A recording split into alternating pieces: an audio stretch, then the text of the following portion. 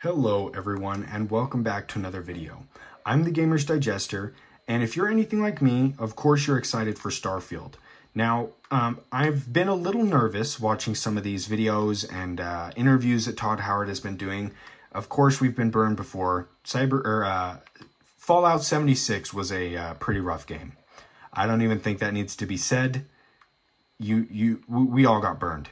Um, Cyberpunk 2077, I feel like, has a lot of similarities with Starfield as far as my emotions and feelings towards it during this initial period of uh, kind of waiting for the game. Both had their share of delays and both touted and, and claimed incredible things. Um, I am doubtful that Starfield will be. Uh, I don't even know how to say this. It will be playable but will it be fun? I don't want to be a negative Nelly. I, I don't, I, I like to look at the, the positive things, but recently the gaming space has been pretty rough as far as um, how it's treated us for launches. And that's not necessarily anything that the developers can do. Uh, when you have these incredibly huge games running on these engines, um, th th there's so many things that can go wrong. You've got you have so many different people you're trying to please. It needs to work on lower end systems and work on 4090s and look good still. It, it, it's, it's hard to do all of that and still keep things under the radar. You need enough people to test these games out and figure out the bugs and what is wrong. Um, and I, looking at Starfield, um, after we've had Cyberpunk come out and looking at it with that kind of uh, view in mind, one of the first things that comes to my mind is CS2. And what I, I'm, I'm meaning uh, Counter-Strike 2. If you're unfamiliar, I'll kind of break down what they've been doing with that because I feel like it's genius. It's really, really mean to me because I don't have access and, and I don't feel like enough people have access, but I just want to play it. I want to get in. But what Counter-Strike 2 has been doing that is different is they are going map by map giving limited access to amounts of people and using them as beta testers. Everyone can see what the map looks like, the changes that they've made. It's a little bit different because with these story games, you don't want anything spoiled, but this is one of the ways they are able to do it, and it's brilliant. If you have kept up at all on Twitter with Counter-Strike and the bugs people are able to find, they're game-breaking. They could not have launched the game in the state that it was when when they announced it that it was going to be live in summer, it would have been a total disaster. People would have quit the game. It was horrible.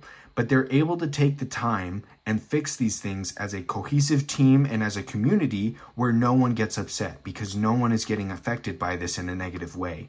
All these funny game-breaking glitches that they're finding aren't aren't that negative in the long run because now that everyone's aware of them, they're able to get fixed in a timely manner before the actual release. I'm not entirely sure what Starfield could do. I think that launching this uh, a little bit early, um, now I, I'll say this in a way that doesn't hopefully come off uh, how I'm not meaning it, but for the people who pre-order the game, which will definitely be me, you're well aware that you're going to be getting five days early access. Now, what I'm thinking is going to happen, and I'd love to hear your guys' thoughts and opinions on this, I'm kind of thinking that is a five-day beta, uh, closed beta, if you will, because I, I can totally see that if there are game-breaking glitches, stuff like that, they'll use that five-day period to make the game in a much more playable state for the people who want to purchase it after the fact. How do I feel about that?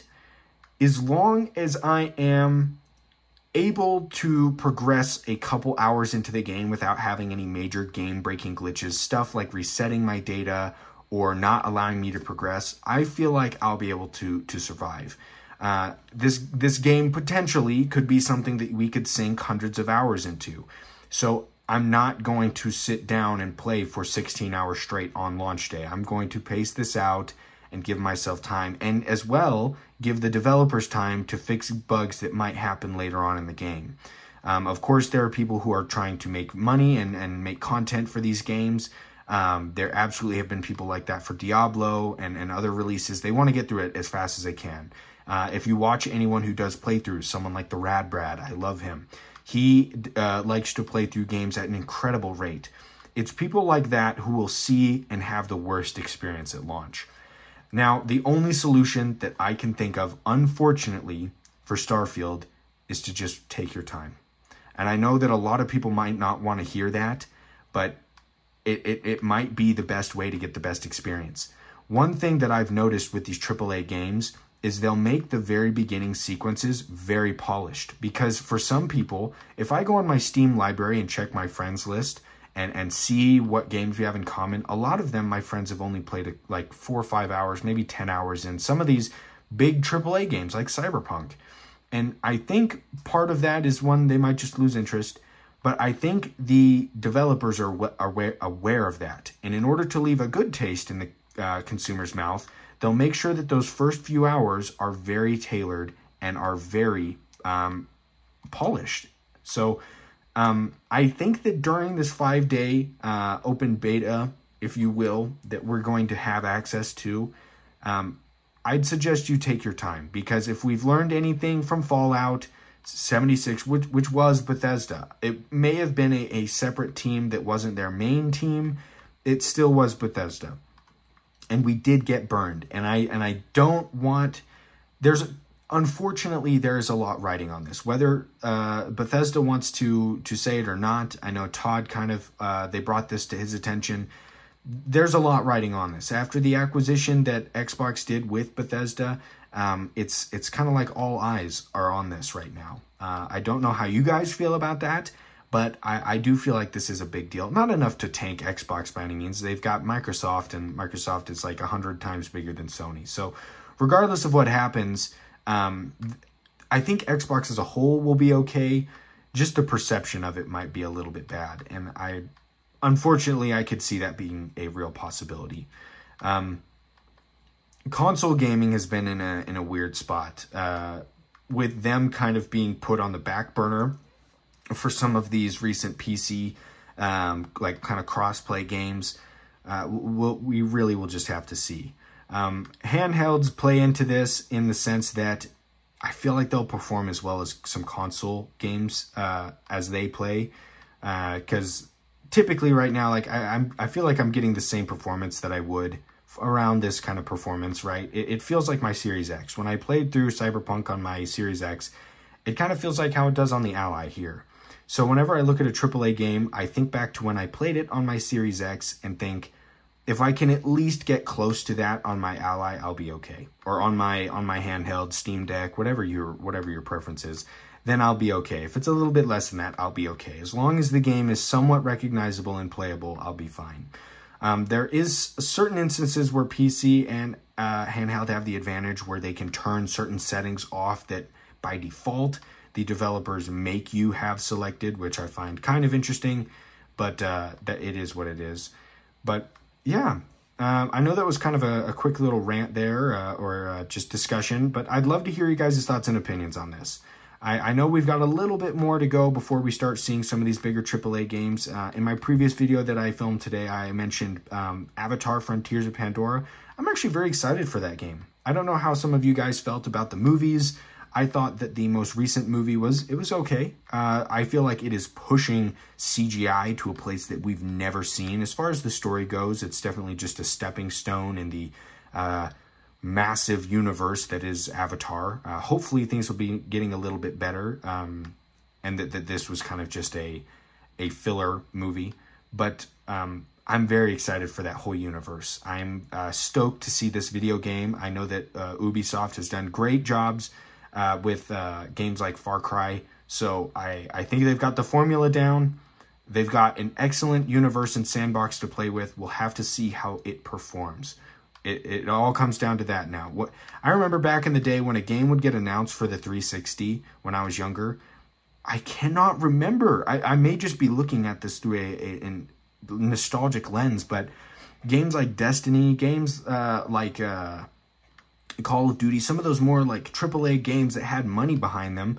Um, I'd love to hear your guys' thoughts. Do you feel like there was any older titles on for PS3 and Xbox 360, and, and even maybe a little bit older than that, that you felt like the development was rushed, or or maybe the story was there but the gameplay was just garbage? I just can't remember. I just I, think we're in a very interesting time where game developers have such a wide audience to cater for. I mean, hell, I'm playing Cyberpunk 2077 on a handheld device that is like a tenth of the size of a Series X, and I'm playing it on here. Were they expecting that? Probably not at the time, but I, they're they're definitely making room for it to play on here. So I, I find it very interesting, and I think developers have a much harder time uh, now than ever. So um, for me, I'm just gonna have to be patient with these launches and and just see if things get ironed out over time. I don't know if they will, um, but I, am here to be patient. Um, I've been patient for a lot of launches.